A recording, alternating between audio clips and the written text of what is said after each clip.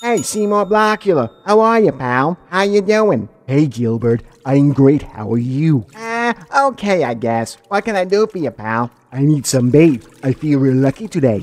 How's the fishing? Fishing is great. Where you going? I'm going to Bailey's Cove. I hear the fishing is great there. Ah, yeah, sure, pal. You should do great there. Hey, Gilbert, did you ever hear about Lake Isylvania? Yeah, Seymore, you better stay away from the lake.